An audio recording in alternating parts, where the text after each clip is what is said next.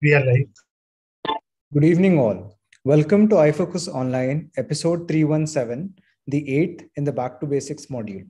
Today, we have with us the very learned Dr. Sabyasachi Sengupta from Future Vision and Sengupta's Research Academy, Mumbai, to speak to us on essentials of medical statistics for an ophthalmologist.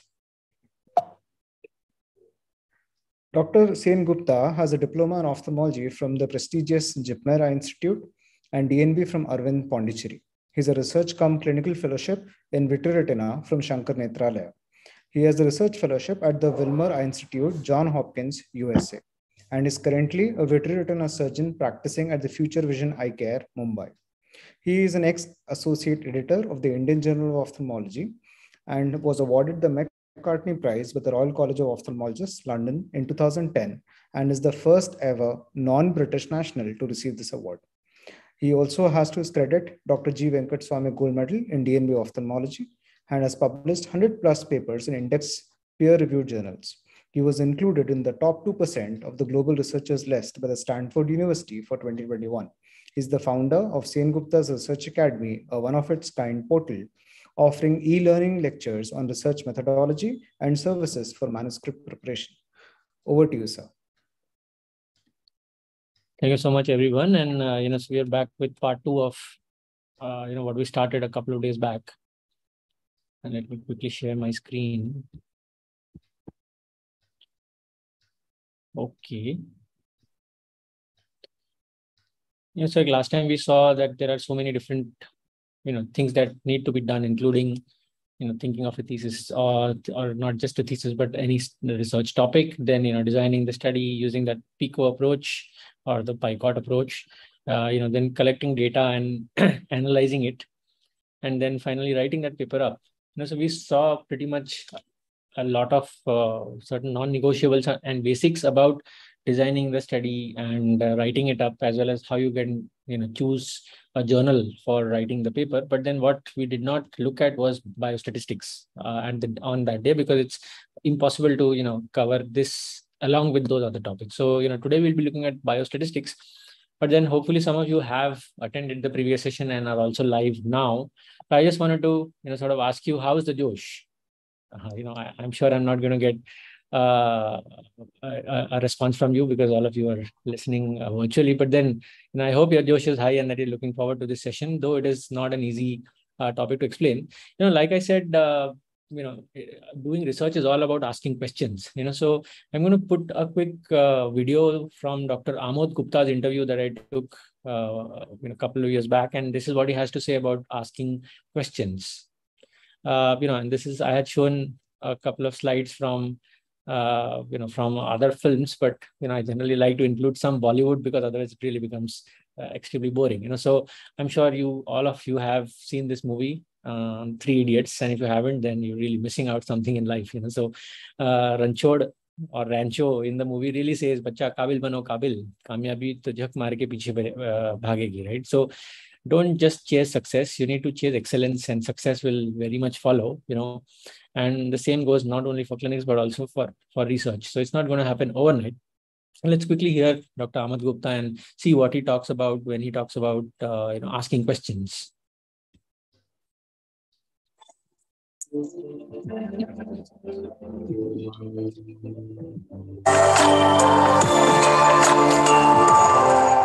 Is there any special message for young researchers who are watching this episode? For the young researchers uh, and young doctors, uh, my parting advice would be to not stop asking questions. What I say is, before you learn the answers, learn to ask questions. In my paradigm, uh, learning questions, uh, how to ask a question, how to frame a question, how precise you should be in asking that questions and asking your query. I think that's what, with the availability of uh, uh, Google and such uh, search engines, uh, it's so easy to find whatever is known about a particular subject, about a particular aspect of a question, and you need to find out the outer boundaries of knowledge. You, you need to figure out what questions have no answers. And those are the questions you need to chase uh, in your research, they, they are the questions which you should frame your uh, research grants and uh, you know research questions and try to figure out the answers. And I'm sure all those answers that you find, all those uh, paper that will emerge would have a huge impact uh, uh, all over the world.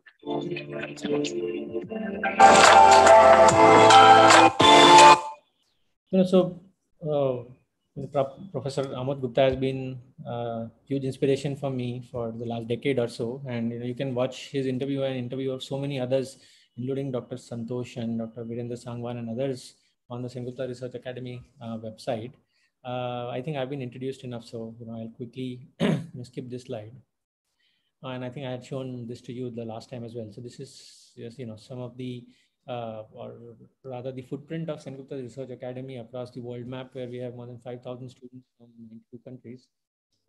Uh, so we are looking at you know data analysis and interpretation today, isn't it? That's because you know biostatistics really means data analysis and and its interpretation.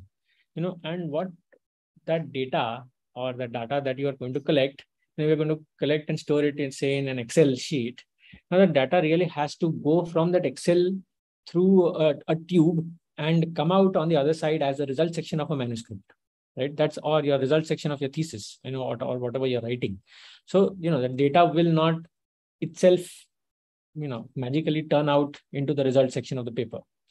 You need to think about how you will do it and you need to visualize that result section even when the data is coming through and later on even before you have started collecting data you need to visualize how that result section of the paper is going to look like you know and what are the things that you will need.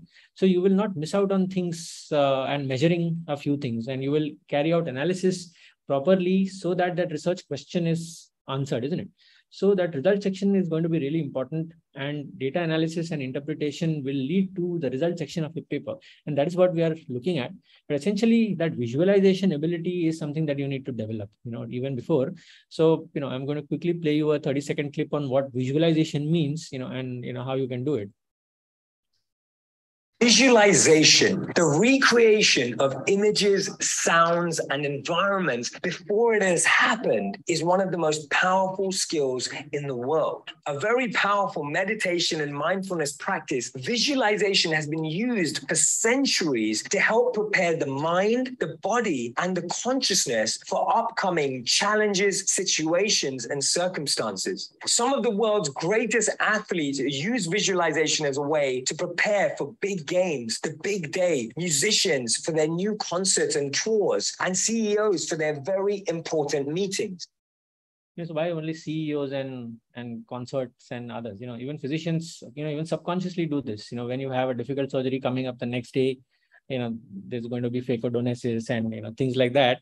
Then you are automatically replaying that surgery before it has happened in your mind, isn't it? That's visualization. So, you know, it comes relatively naturally to us when we're talking about a clinical scenario or rather a surgical scenario, but not when we're talking about research as yet, right? Because it hasn't gotten ingrained deep within us. So, uh, you know, think about that. And, you know, like he's saying, you know, you need to visualize what these tables and figures need to look like and how am I going to, uh, you know, present my data crisply in, in these tables, etc. You know, so we'll take a look at how you can do all of this you know, this is something that I showed you last time also. So, you know, plan and execute the study, then you analyze, write it up, and you uh, review and you submit and publish in a particular journal.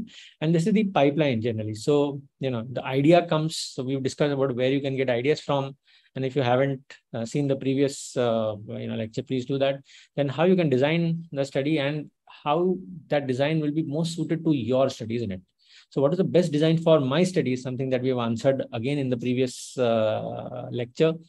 Uh, now we are going to look at execution and analysis, and we have also looked at writing and publishing in the in the previous section, right? So today we are really going to look at execution and analysis, and that really means biostatistics, right? So you know, let's uh, really get underway. Uh, you know, before that, let's look at a question or let's look at a sentence that you will come across in published papers, left, right, and center. You know, so the statement says the central macular thickness reduced from 480 plus or minus 130 microns to 320 plus or minus 80 microns with aflibercept injection and from 489 plus or minus 140 microns to 340 plus or minus 90 microns with ranibizumab at three months follow-up. So uh, the ones in red are aflibercept and the ones in blue are uh, ranibizumab results, right? So 480 and 489 were preoperative macular thickness, and 320 and 340 are postoperative macular thickness. Right, so that there is almost similar reduction as we can eyeball and see. A reduction in central macular thickness in these two groups was comparable without any statistical significance in the p-value 0.63. So what does this p-value mean and where did this come from? You know, and what tests are going on in the background that we are getting this p-value. So this is not significant, right? P, any p less in more than 0.05 is not significant. And any p less than 0.05, so 0.049 or 0.04, 0.03 is statistically significant. Now, what does this p-value mean? P really stands for probability. And a very easy way to look at it is if you repeat the same experiment or the same study 100 times, you know, how many times is that outcome likely to happen because of chance? And how many times will that outcome repeat itself again and again? Right? So 0.63 means 63% of the time the same outcome will happen because of chance. Right? Say 0.05, that means 95% of the times you will get the same result. 5% of the times you will get a different result because of chance. But 95% of the times you will get the same result over and over again. If P is 0.01, that means 99% of the times you're going to get the same result. It's, you know, it's just giving you that uh, robustness to believe something, isn't it? And if it's a, you know, if it is 0.07, that means you're going to get the same result 93% of the times. You're getting that, right? So, you know, if the P is 0.06, that means you're going to get the same result 94% of the times right? So a P of 0.04 and a P of 0.06 is not really that hugely different, isn't it? So that's how that's why you should know how to interpret P values, right? So any P value which is more than 0.05 but less than 0.1, you know, it is really it's something that you need to also think about. And you know, I tend to think that you know there probably is a difference because that's really too close to 0.05. Anyway, so you know what we are trying to understand is how the sentence came about, what are the tests which are done at the back end of this to get this p-value, right? Also, you know, if you see these preoperative values, 480 and 489, they're really close, right? It's almost clinically not meaningful. However, when you see later on that difference has increased to, you know, say 320 and this is 340. Now, this is a 40 micron difference, right? So, and the drop here is, uh, or the decreased uh, macular thickness is decreased more in this red group or aflibercept compared to uh, ranibizumab group, right? So decrease is about 150 microns here and 170 microns in aflibercept group, right? Now that is clinically, you can't differentiate whether it is significantly different or not, right? Suppose one group dropped the uh, macular thickness by 150 microns and the other group dropped the macular thickness by only 30 microns. That's a no-brainer, right? That one group is superior to the other by a long way. There you don't need to do any statistics, just eyeballing the, uh, the values will just tell you. But when it is this close, you're not really sure. Clinically, you know, some will say, oh, yes, some will say no. That is when you need to do statistics, right? So when you're not sure about the outcomes clinically, that is when you actually need statistics. We will, you know, we'll come back to this question later on and understand, you know, what is going on here. Another question is about causality association you know, what comes first and then does it cause the other? So here, if somebody compares the lipid profile of 50 patients with glaucoma and 50 age match controls and shows that 60% of glaucoma versus 15% of control has dyslipidemia. And the T 0.03, like I said, you know, this is a absolute no-brainer, right? One is 60% and one is 15%. It's hugely different. Can you conclude that dyslipidemia is a risk factor for glaucoma? And just think about it quickly. Now here, your outcome is glaucoma and what is that thing which is going to cause glaucoma? This is dyslipidemia. Right? Now, can you start with glaucoma and then look back and see how many, or look at how many are dyslipidemia? Is that the right approach? So, in other words, is dyslipidemia associated with an increased risk of glaucoma? This, this is what the authors are trying to say. And this is a published paper very recently in one of the top journals. You can't start with glaucoma right here you need to start with people with dyslipidemia and people without dyslipidemia and follow them up over a period of time over whatever four years five years i don't know how long and then say this dyslipidemia group 10% develop glaucoma and then the people who didn't have dyslipidemia and continue to not have dyslipidemia only 3% develop glaucoma. That is when you can say isn't it. So the starting point has to be that risk factor and then you go ahead in time. You know that is that would have been the right way to do it isn't it? Also if you want to start with dyslipidemia and do a retrospective or a cross-sectional study like this at that same time point you can just look at 100 people with dyslipidemia 100 people without dyslipidemia and then see how many have glaucoma. But you cannot start with glaucoma straight away. So this approach is not helping with causality right? And but then you know so again we'll look at some of these percentages later on and see how this p value came across. But you know this is how statistics can uh, you know these are some of the sentences very similar to this you're likely to see in many many or in all sorts of published papers. So how do you know what is right what is not right? You know we are going to you know that approach that i'm going to teach you is going to uh, help you do that. This is a uh, ebook of basics of biostatistics and whatever i'm going to talk now is present in this ebook it's really simplified. I think it's about five or six pages alone. I'm going to show you a, a QR code.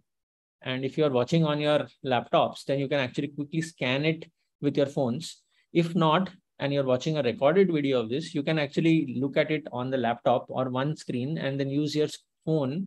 Just open the camera of your phone and just screen this, you know. Uh, once you scan this, it, will take you to a page where you have to enter some basic details and then that ebook will be free to download for you, right? Uh, so, you know, this is something I'm just going to leave it on for say about 10 seconds or so. You know, if you have your devices and you're live now, you can actually do it right away. And, uh, you know, I'm going to also show this QR code uh, slightly later in the presentations. We'll have time to look at it again. Now let's look at some basic terminologies, you know, let's leave everything behind, you know, all that means and p-values and all that. Let's start from scratch so what is data? What does it really mean? It's just that observations that come from an experiment or research, when they're all put together in one place, it means data, right? So last time, like I was saying, you know, data is the new currency, and that very much is, right? But then it has to be organized, it has to be put up well. Okay, so data really means all observations put together. Variable, a variable means each set of observations in the data set, or every column in an Excel sheet is a variable. Now, where in the Excel sheet, we put each patient or each eye as a separate row and each column as a separate uh, you know, unit that you're measuring. Say age, gender, BCVA, OCT, thickness, number of injections, etc.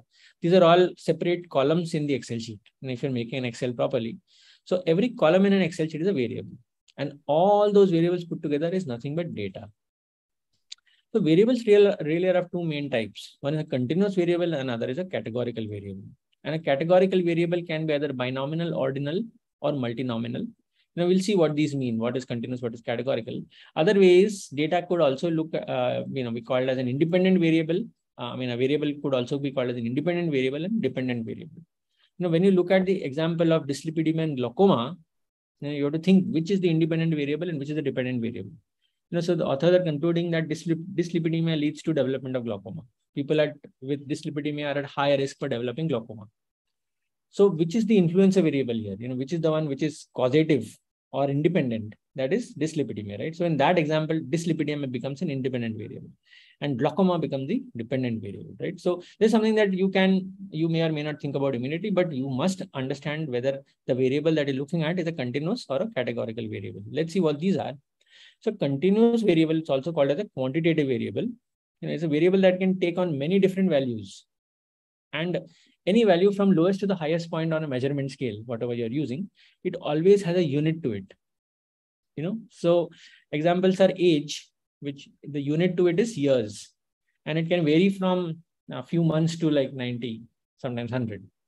BCVA is best corrected visual acuity. It can vary from you know, finger counting to 20 by 20, right? And in logmar, that really, uh, you know, translates from zero to two. Intraocular pressure rate is measured in, in millimeters of mercury, and it can vary from you know, as low as two and one to as like as 60, 70, depending on the, uh, you know, the study that you're doing. Central foveal thickness, central nerve, uh, retinal nerve fiber layer thickness, these are all measured in microns, right? So all of them have a unit to it, and you know they're not restricted to any number, but then they can take on any value that is allowable in that. This is a continuous variable, right? Now let's look at what is a categorical variable. This is also called as a qualitative variable, where things are grouped according to some common property, right? So it can, that variable can only have a limited number of values, right? So example is gender. You can only have female, male and female and perhaps others or you know undisclosed or something. Success could be yes, no, or you know partial, complete, or something like that based on how you've defined it. But you can't have like 10 different types of success. Types of macular hole closure after surgery. It could be either type 1 or type 2 closure or a non-closure. You know, so these are all, so that column is going to have only two or three possibilities. Types of neovascular membranes, either classic or occult, you know, or it could be like minimally classic, predominantly classic, occult, you know, things like that. But the only three or four types. Types of injections, if you are doing a study like that, it could be Avastin, a Lucentis, or uh, Accentrix, whatever, or intravitreal triamcinolone. Types of injury is either open globe or closed globe. You know, you can't have, you can have both sometimes, uh, you know, in one and the other eye, but then it's either open or closed globe. You know, you can't have like 10 different types of injuries. So uh, these are only a limited number of values. And remember that these can't, of course, have any unit to it, right? So category can be either only two categories, that is a yes, no, or a success failure or something like that. So it's binominal. Bi is two. So only two categories possible, right? Male, female, success, failure, or whatever. Uh, other is ordinal variable, where more than two categories are possible. Okay, but uh, there is an order to them. Okay, so it could be complete success, qualified success, or failure. Just give me one second. Yeah. Okay, so uh, ordinal will be more than two categories which are possible, right?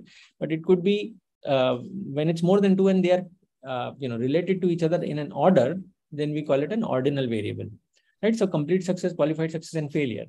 Another example which is commonly used is is diabetic retinopathy you say mild NPDR, moderate NPDR, severe NPDR, you know, very severe NPDR, early PDR, uh, advanced diabetic eye disease, uh, you know, high risk PDR and all of that, right? So there is an order to it, right? So uh, patient won't directly land up into the latest stage. They'll all go through that. So ordinal variable, someone which has order. And when there are more than two categories, but there is no order to that, it is called multinomial variables, right? So example, say type of injection in a study. There are three or four different types of injection uh, in a study that you're using, that becomes a multinomial variable. Let's do a quick exercise where the first question is height of subretinal fluid in central serous chorioretinopathy. So I'm a retina surgeon, right? So most of my examples are going to be with retina. So height of subretinal fluid in central serous retinopathy. You know, just think about it. Uh, you will measure it using the OCT, you know, and that height of that fluid will be expressed in microns and could really be anywhere between 1 and 2 microns to anywhere between 200 300 microns sometimes in very uh, you know large csrs so this is expressed in microns and it can vary from 1 and 2 to as high as 200 300 this is an example of a continuous variable right? The next question is presence absence of hard exudates in diabetic macular edema. There are only two either presence or absence. There is no unit here of course. You know some patient will have and some will not have. So this is an example of a categorical variable when there are only two possibilities. So this is a binomial categorical variable. Then you say response to intravitreal triamcinolone, where it's a good, fair, and poor based on how you have defined it. Right. So that outcome is good, fair, and poor. It's more than two categories. Of course, this is a categorical variable, but there are three more than two, and it's in an order. This is an example of an ordinal categorical variable. The next question is number of days of follow-up of a patient. You know, so uh, it's going to be in, you know, it could very well vary from one or two days to say 100 days, 365 days, 720 days, right? So that is going to be, it. the unit of this is in days. And this is an example of a continuous variable. So uh, once we have variables, you know, once you're starting to uh, get them, what we do is we put them in the Excel sheet, right? And once we have an Excel sheet done, only then can you start analysis. So making an Excel sheet is really, really important. And uh, this QR code will actually take you to the uh, YouTube lecture on making an Excel sheet, right? An Excel sheet really needs to be made so that it is understandable uh, very easily. And also it can be utilized for statistical analysis, right? So just go through this lecture uh, on making an Excel sheet and, and uh, you know, I'm sure most of you will find it uh, you know, very, very useful and that you look back at some of your Excel sheets and say, oh, we gave the statistician a hard time, right? So uh, take some time off, uh, not immediately, of course, but, you know, whenever later you get time, just also visit this uh, lecture on YouTube so that you can, uh, you know, understand how to make a good Excel sheet. Now, once you have all these variables in place, you know, your actually the data started to come in. What we look at is now we look at one variable at a time. You know, so that is one column of uh, each column of the Excel sheet, one at a time. We're not at all talking about multiple variables. You know, so you know when somebody enters a cricket field, he's a batsman or a batter, and uh, you know what you see first is his name and his you know previous record, how many centuries he scored, all of that average, and then he starts playing, isn't it? So you're getting information about that person or all description about that individual. And then later on he's going to uh, you know start playing and they're all going to start interacting with each other. So what we're talking about is describing that one variable at a time right? So this this is called descriptive statistics at the bottom. As you can see it is called descriptive statistics right? Now continuous variables are described as either mean with standard deviation or median with interquartile range range and then you can have some i'll explain to you what these are. These are called then then what who are the outliers. And the best way to show them graphically is using a box and whisker plot. I'll also explain to you in the next slide what this means. But really when you're looking at a continuous variable you know say age you will describe it in terms of mean standard deviation with a with a plus or minus standard deviation. So you'll say mean age of patient was say in a cataract surgery patient, uh, you know paper you will say mean age was 68 plus or minus 5 years or whatever right you could also say the median with interquartile range. Median means the central value. You know, if you arrange all of these numbers in an ascending or a descending order, the value which falls right in the center of that is called the median, right? The and so median really means 50th percentile. Okay, so you can also describe that continuous variable in terms of uh, a median. Now, where this is more important, so most 90% of papers that are published, you will see means and you don't see medians. Right. So when do you use mean and when do you use median? Right. That's that's an important question. So you know if if you have uh, too many extreme values, you know, say most people are between 40 and 50 years of age, and then you have some eight or nine who are 85 and 90. You know, so if you add all of them or if you average all of them, that average or that mean is going to be closer to that 90, no? So your mean age may be like 60 or 65. But if you exclude them, if you throw them out, those extreme values, if you throw them out, then your mean age suddenly becomes 45. Right? So when you have many extreme values, then using mean is going to pull that mean towards itself. That is when you will have a large standard deviation. Okay. So when you have many extreme values, you will have a mean with a large standard deviation, right? Because the deviation is too large, right? Between the smallest and the largest. There's a lot of variation around it. So the standard deviation will be more than half the mean in, in that situation. And that is called a non-normal distribution or a non-parametric distribution. So when you have a large standard deviation, okay, that is called a non-parametric distribution. Now, what is large? What is large enough, right? When the standard deviation is more than half the mean, you know, say 60 plus or minus 30 years, that means that standard deviation is already large. You know, when you have a mean, when you, you know, you may be getting your results from a statistician and you see that mean age is, or say mean, mean intraocular pressure is 15 plus or minus 12. That means there are a lot of extreme values, right? So that is the time when you report median. And that median in that study, uh, you know, that median will be much lower than the mean that way, right? So when you have extreme values, then you generally report median with interquartile range. Then you, of course, have range, which is the smallest and the largest value. Then you have something called outliers. Outliers, like I've already told you, these are like extreme values, right? Very, very far away from the central tendency or the central median value. So they're very far away. And then you have box and whisker plots, which are showed, which show this continuous variables graphically. Now, this is an example of a box and whisker plot. And some of you may have seen it before and are aware of how this is done. Some of you are probably not. Just let me explain to you what this means.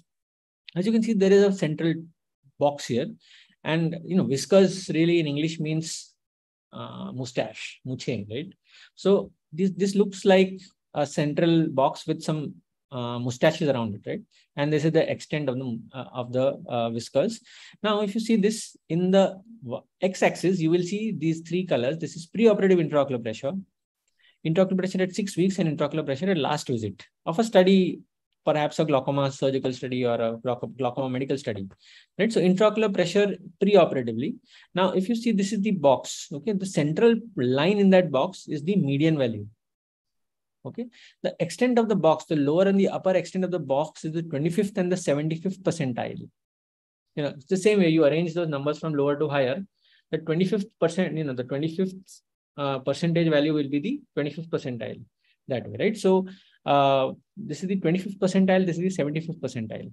And this whole box, you know, constitutes, so this is the box and whisker wala box. Now, what are these whiskers? The lower whisker is the 10th percentile and the upper whisker is the 90th percentile or close to this most of the time. It could be 92nd, 93rd percentile also. Okay, but then these are extents of, uh, you know, how that variable is being described. And then you see that there are these dots. These dots are very far away and these are called outliers. Okay, statistically, these are called outliers. Now, you know, so preoperatively, this is the mean int uh, median intraocular pressure is somewhere around, say, 18 millimeters mercury.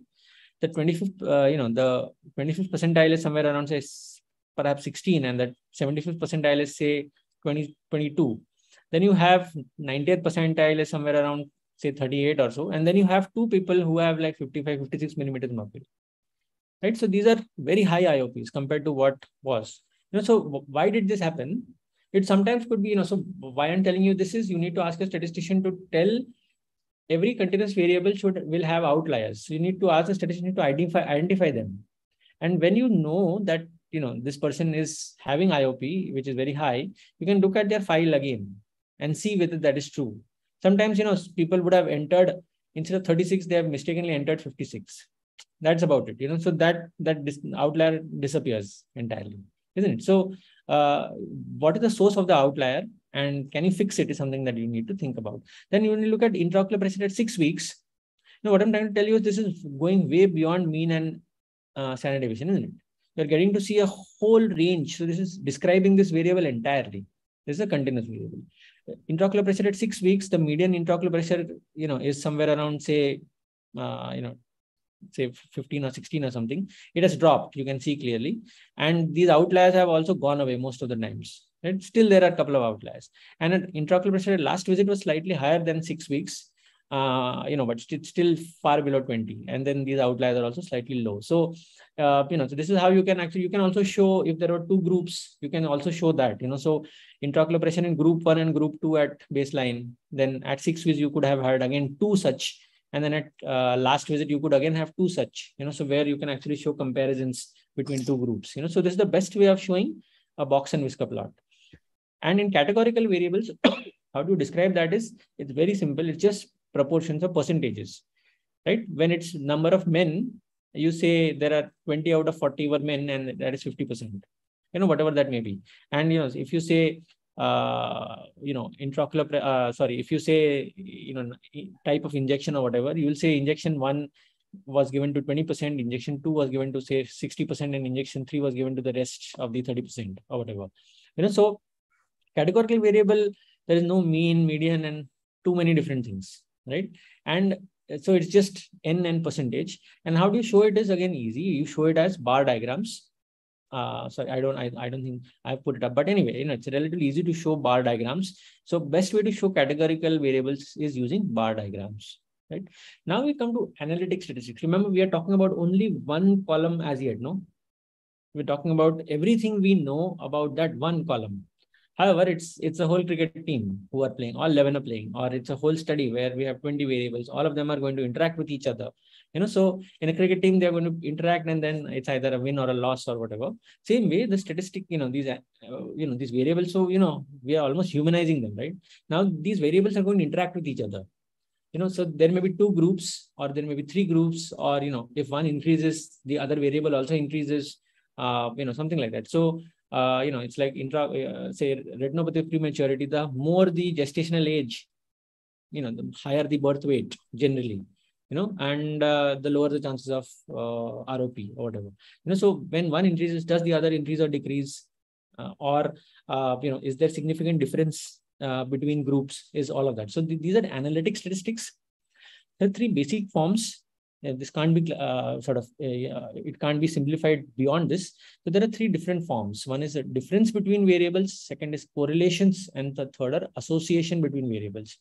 And so we won't have a lot of time to look into all of these, but we'll look at difference between variables, you know. Now, these are some of the tests that we choose based on these type of variables, right? Suppose we are looking at a difference in continuous variables between two groups. You know, say uh, open lobe injury and closed lobe injury, or you say bacterial fungal ulcer, uh, bacterial corneal ulcer and fungal corneal ulcer. You know, whatever that you are actually comparing across, or say intravitreal aflibercept and intra intravitreal ranibizumab, you know, whatever that may be, or phaco emulsification versus SICS. You know, so uh, when you're comparing across two groups, and that comparison you're talking about is is a continuous variable, say age. So are phaco patients older than SICS patients? Remember that age is going to be expressed in mean and standard deviation because it's a continuous variable, right? Now, if it's normally distributed, how do you know it is normally distributed? By looking at the standard deviation, I've already told you this. If the standard deviation is more than half the mean, right, this is very important. When the standard deviation is more than half the mean, it is not normally distributed. On that is called non-parametric distribution. If it is normally distributed, then the standard deviation will be relatively small. This is a, you know, a relatively uh, broad way of looking at it. There are many tests which we can do to find out normality of distribution. Okay, the commonest test that we use is the Kolmogorov-Smirnov test. There are other tests like the Wilcoxon-Rank sum test. Okay, and there is another test called the Mann-Whitney-U test.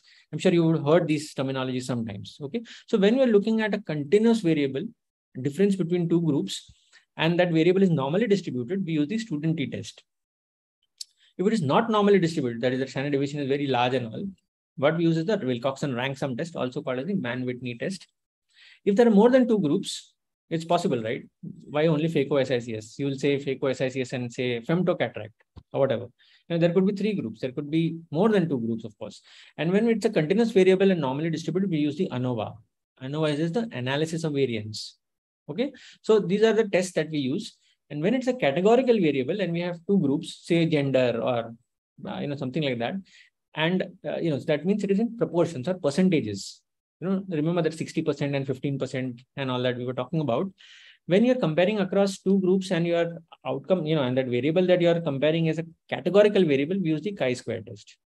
Okay so cat stands cat goes to chi. Categorical is chi-square now if that proportion those percentages are really small and less than 5% we use a fisher exact variation of that chi-square test. Okay so this these are the tests that we use. Another way of looking at it is you look at the type of the variable, whether it's a continuous or a categorical variable, then you look at the number of groups that you're comparing them across. If it is two groups or more, more than two groups. So this is taken from the uh, ebook that I already showed you the QR code for, and I'll show that QR code again. Then you look at the distribution of that continuous variable. If it's a normal distributed or not normal, right?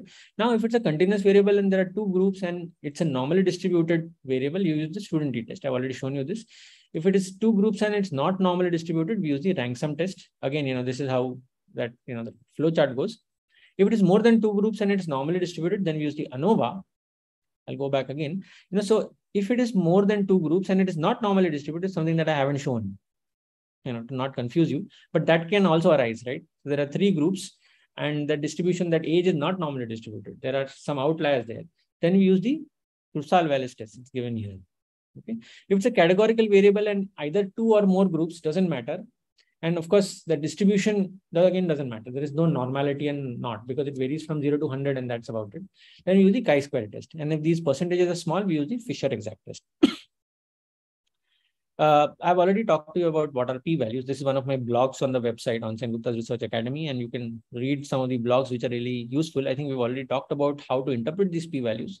Let's look at this question that we started again with, right? So the central macular thickness reduced from 480 uh, plus or minus 130 to 320 plus or minus 80 and from 489 uh, plus or minus 140 to 340 plus or minus 90 microns at three months follow-up. Now, this is in microns. This is central macular thickness. It's in microns, right? And you have means and standard deviation. So is this a continuous or a categorical variable? It's the first thing that you need to answer, right? I'll go back to this one, you know, so is it a continuous or a categorical variable? So this is clearly a continuous variable. How many groups are there? We know there is alpha, aflibercept and ranibizumab. So there are two groups. Now, is it normally distributed or not? You will need to see the standard deviations. Is the standard deviation is more than half the mean? It's not, right? So if you look at 480, half of that is 240. But here it is just 130, right? Again, this is 489 plus or minus 140, right? That means, you know, so again, this 140 is fairly low, you know, the standard deviations were not large. That means this is likely to be normally distributed. Again, if you see the post-hoc values, they are also like that. Standard deviations are relatively small. Right. So this is a continuous variable that is macular thickness. We are comparing it across two groups and it is normally distributed. So we use the student t-test. Right. And the question asked here is, is there significant difference between these? Right. And the output that we get is a p-value. I've already told you how to interpret that p-value. So how to get this p-value is by using student t-test. Right? It's relatively simple to understand. This is another example of a study from COVID that I did and it's now published. So there were two groups. One was a control group and the other was a group which received RAM, remdesivir injections. And there are 221 patients in the control group and 262 patients in the remdesivir group. This is some basic demographics and systemic status. And you see age, Mean age is 57 plus, uh, 0.1 plus minus 12.9 in the control group, 58.8 plus minus 12.3 in the remdesivir group. Now, again, you know, let's go back here again. This is a continuous variable. There are two groups. It is normally distributed. So we use the student t-test. And this p-value is gotten using the student t-test. Let's look at gender. 141 out of 221 are men. That is 64% are men. In remdesivir, 70% are men. Now, about seven, uh, that's about 6% more. Is it significantly different to later on influence and other things? We don't know, right? So you do a statistical test and here we do the chi-square test and we get this p-value of 0.18. You know, so this is where this is a categorical variable. Why? Because this is in percentages. Percentage of men. Number of groups is two. Doesn't matter if it's more or less. And those percentages are far more than small. They're not small, right? 60%, 70%. So we use the chi-square test. Okay, so this is basically what we do. When you look at diabetic status, this p-value is statistically significant. It's 0.001. That means 99.9% times you will get the same outcome, right? Uh, and that means in this remdesivir group, 41% are diabetic, and this control group, 26% are diabetic. So there is significantly more diabetics in the remdesivir group. Right now, if you say that this remdesivir caused mucormycosis, suppose later on somebody says, oh, remdesivir caused mucormycosis, will it be the right way to look at it? Obviously not. That's because they have a lot more diabetics, right? So it's very likely that the diabetes caused mucormycosis or led to mucormycosis and not remdesivir or not COVID, isn't it? So now we know like uncontrolled diabetes leads to mucormycosis. So uh, this diabetes in this relationship between remdesivir and mucormycosis becomes a confounder here, right? So that's what we are trying to, you know, that's just one of the things that this can also tell us. You know, so how will it matter if there are more men in one group than the other? Does gender influence uh, you know outcomes in remdesivir? We don't know those things, but it's important to do all these tests right at the beginning, right? So there's another study, another example of uh, you know a niche glaucoma surgical study. This is comparing Ahmed glaucoma valve versus RD. I'm sure a lot of you have heard about RD. RD is the Arvind aqueous drainage implant, right? RD. So it's available for the last five or six years, an extremely good implant. Both of these cause reduction in intraocular pressure. You know, let's look at age here. In the AGV, it is 52.6 plus or minus 16.8. So this is, and in the RD, it is 47.8 plus or minus 16.7. Right? Now, do you think, so there are two groups. This is a continuous variable clearly. There are two groups. These are normally distributed, isn't it? Because the standard deviation is very small compared to the mean. Now, therefore, this p-value will be got using the student t-test, right? Now, let's look at some percentages, say laterality, or let's say again gender, or let us look at, uh, you know, this phakic status at the bottom. So 70 out of uh, these, these 170 in the AGV had uh, a phakic, that is had the crystalline lens, that is 37%. And the RD group, out of the 201, 85 are phakic, that is 41%. Now this 37 and 41% are relatively close, but still, you know, this p value 0.41. Now we have got that using the chi-square test, right? Now, what we looked at initially is so far as differences between variables. There are other ways of doing statistics which are more uh, complicated and which are more uh, you know, sophisticated. The, the, the commonest one is called regression analysis. Okay. Again, it depends upon the type of outcome measure your outcome measure is. If it's a continuous variable, your outcome measure, you know, uh, uh, you use a linear regression. The best example of this is intraocular power calculation using the SRK and SRKT formulas. The outcome measure is the power of the IOL, right? It's in diopters. Okay, so you know you have heard about uh, regression formulas and theoretic formulas, right? So this regression formula it comes from that word regression comes from this term linear regression. So if an outcome measure is a continuous variable, you are you will use a linear regression categorical variable is the outcome measure, you will use logistic regression and the output is mentioned using odds ratios. You would have heard about some of these terms. Unfortunately, we don't have enough time to go into a lot of nitty gritties of these.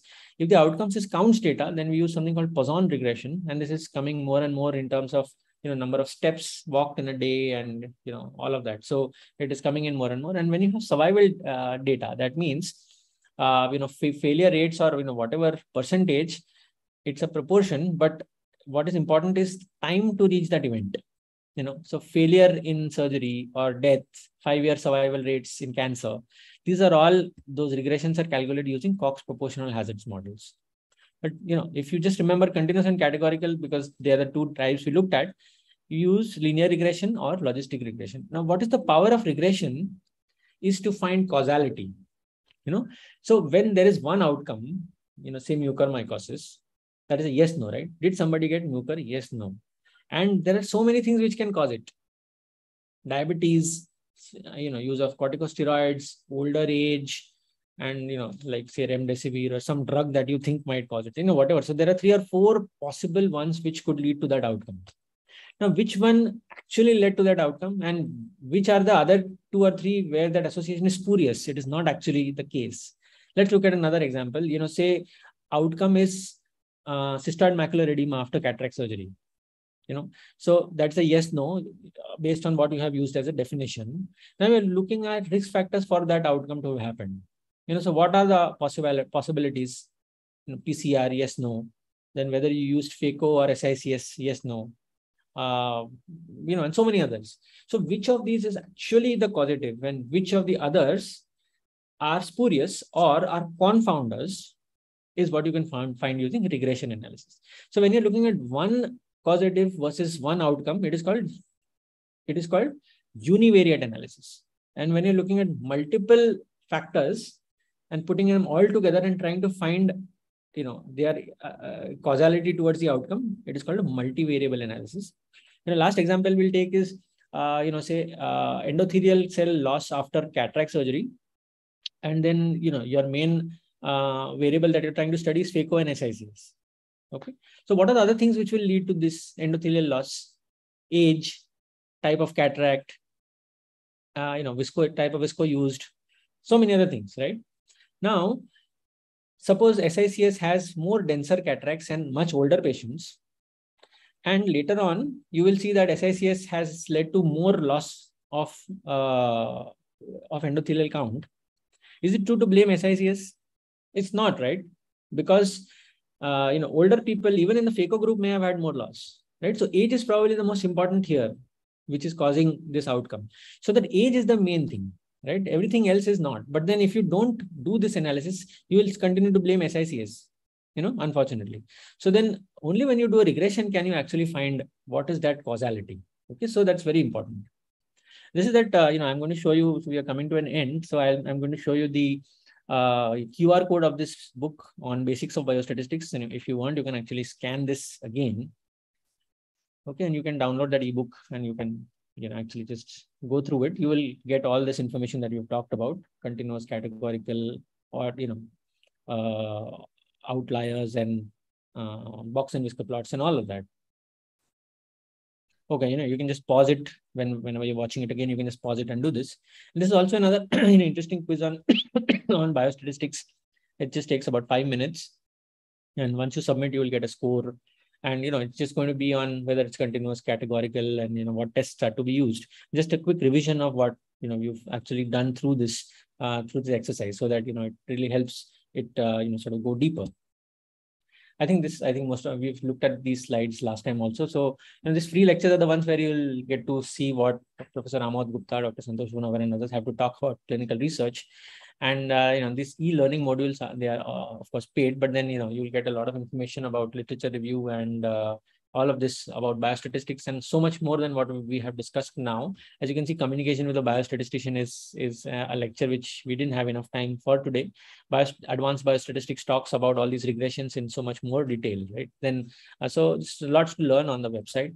Then there is another module on manuscript writing and uh, where, you know, we look at uh, choosing a journal to how to write original articles to case reports and other things.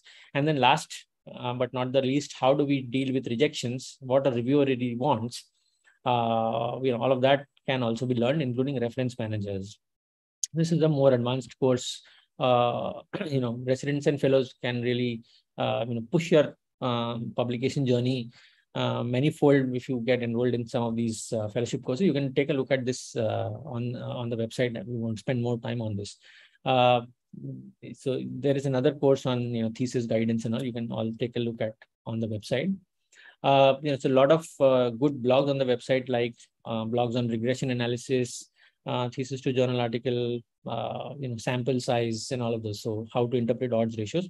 So please take a look at some of those and broaden your research horizons. It's really going to be important as we go along to you know have better perspectives of some of these uh, and this is a Facebook group that all of you can actually join. This is on ophthalmic research and collaborations in India, where you know some of us put put forward ideas for research, and then others say, "Oh, we would be interested in doing it." And then there have been four or five uh, groups which have already started working and are on the verge of publishing papers. So you know, if you ever want to get uh, hold of new ideas or uh, when collaborations are happening, this is the Facebook group to be on. So thank you so much. And I hope you know this uh, subject of biostatistics will not be too much of an enigma and then you'll be able to wrap your heads uh, around that. I'm happy to take questions now. Uh, thank you so much, sir, for such a wonderful and a unique lecture. It was one of a kind. Uh, one of the users asked, can you please share that how your academy helps with data analysis? Yeah, so you know, so basically what we do is, uh, uh, let me quickly try and show you what we do. Sure. Mm-hmm. And there is an image. Yeah. So I'll just share it. Mm-hmm. And this is essentially what we do, right? I mean, this is the point of first contact where you know you write to us or tell us what is your need, what you really want to have.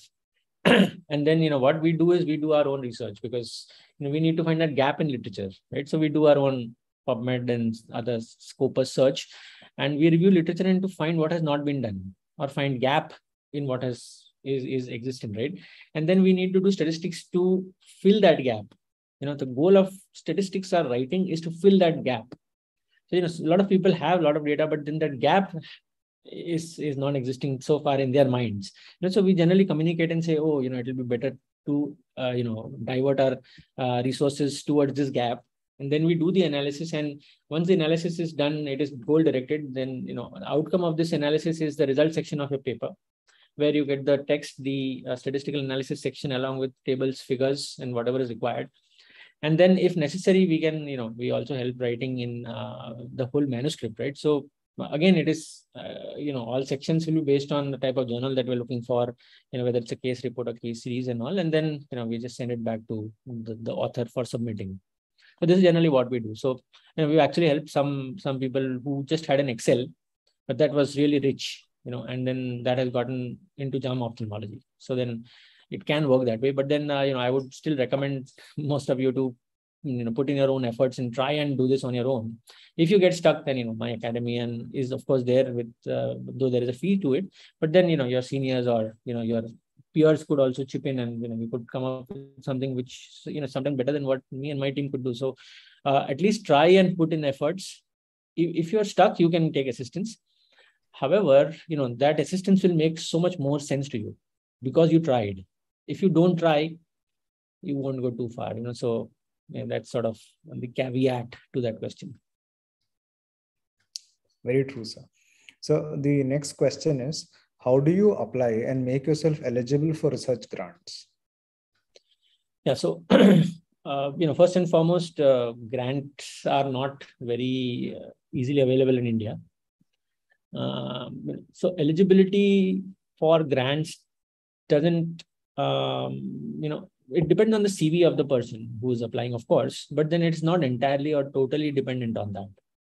You know, so you need to show that grant agency that this is very important to do. This uh, this research is extremely important to do, and it is going to have far-reaching ramifications. You know what I mean? So uh, that means that gap in literature that, that you have found is really important, isn't it? So if you know, so so many people don't write papers saying, "Oh, there's no point because too much has already been done," and that is the right approach because you, you are otherwise littering littering it you know by just writing too many paper one after the other so write meaningful papers you know and you will notice that you know people who have written fewer papers 50 60 perhaps or even 10 and 12 will come up with better ideas. You know because they are not blurting out like five or six papers every month. It's not always good to do that. Sometimes it is. If you're an institution which is has that power you could do that. But then you know it's good to sit on ideas think about it. So your idea or that question that you're asking is the first and foremost which will make you eligible for any grant. Then you have to show that you are capable enough to do it to execute that plan right? It's it's very well that you have a great question. Oh but then you know you don't have the number of patients you don't have the number of uh, you know sort of the equipment required you don't have the statistical background and other things. And then you have to show that i'll be able to publish this. That is where your publication history comes comes into into play. And of course you know if somebody has 10 papers and somebody has two papers then it's likely that the grant agency may look at the person who has slightly higher number of papers provided they are all original articles Grant agencies do not look at case reports. They do not look at anything else other than original reports, not even reviews. So if somebody has like 15 publications and all are original articles, and some somebody has like 80 publications but all are case reports, then you, know, you can very well understand who is going to be the advantage at an advantage. It's going to be some person who's writing more original articles. So right from the beginning, write original articles. Do meaningful work meaningful work also is going to be cited more and more and more. So you'll have a high citation index and H index and all of that as you go ahead, right? But then to be eligible for a grant, you need to have the right question. You need to have the right resources to carry out that, execute that plan, and the resources uh, to publish papers. So this is pretty much what grant agencies look for. All right. Thank you, sir. And the next question is, any tips on how to effectively present the statistical analysis? You know, like I already said, you need to visualize and think about what will go into tables, what will go into figures, and then what else will go into the text. Do not repeat things in tables and then into the text at the same time. It's it's irritating. It's you know time consuming for the reviewer, and then you know when it's going to get published, that uh, publisher will say, "Oh, one whole page can be removed if we remove this," you know, and that makes huge amount of difference in terms of printing and money being spent you know just looking at it downstream. So then don't repeat things. First is design your tables. You know so if you have two groups perhaps the first table could be comparison between demographics like i showed you for the remdesivir study. The second uh, uh, table would be the more important one where you're talking about the primary outcome say iop and you know at different time points and others. And then perhaps another table on complications or you know whatever you might have additionally uh, so, you know, say three tables like that, or say another table on advanced statistics like regressions or something like that. You know, so it's 50, 60% of your work should be able, uh, you know, should be seen in these standalone tables. And then maybe another 20% will be in terms of figures or graphs that you make you know, so box and whisker plots, I showed you bar diagrams or, you know, of, you know, some of this, uh, you know, scatter diagrams. And there are many that your statistician can help you with. So the, another 20% of your data is presented in, uh, in graphs or figures. So almost 80% is done here, you know, so about 20% will be in text. And then, you know, you, but then you have to cite that table one, right? So you will say table one shows you know whatever you or you just say uh, you know this group had significantly older people with more uh, this, this, this, this, and in bracket you will say table one. So then you get a citation, and then you know the conclusion of that basic table is also there in that. So that's pretty much how you do it. So you design your tables, then you fill them up, of course, with the help of your statistician, and you make meaningful graphs so it will show things better, and then you write the text. Yes. Uh, thank you so much, sir. That's all the questions we have for tonight. And before we call it a day, I would like, like to make an announcement for the next week's uh, iFocus session. We have it on Essentials of Ophthalmic Anatomy, Part 1 by Dr. Parthopratim Dutta Majumder, sir. Thank you so much, sir, for sparing all your time, such wonderful knowledge. It was a very good insight into the biostatistics part, the quite unraveled uh, part of uh, medicine, I would say. And thank you so much, sir, for sparing the time tonight. Thank you so much. Good